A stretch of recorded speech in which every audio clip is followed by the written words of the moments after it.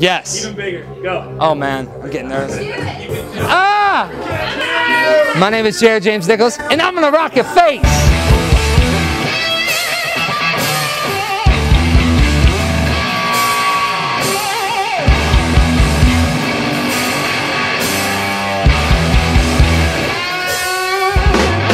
I'm from East Troy, Wisconsin, as uh, my bass player and drummer are all the way from Sweden. I got together with a few different singer-songwriters, and uh, I wanted to write some really good tunes. Um, and I got together with a guy, Warren Huart, who just got done working on the last Aerosmith record.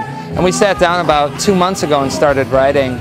We came up with five really solid tunes, and um, we're going to release them on an EP here. It's going to come out, I think, the last week of July. Uh, we're going to open up for Kid Rock and the Doobie Brothers, as well as ZZ Top and uh, Toby Keith. And it's going to be a good time, man. It's going to be three, four weeks on the road. This will be my first time at Harvelle's. Um, I know about this club many times. Some of my heroes have played here, so it's going to be a really, really good time. I'm excited to play Harvelle's.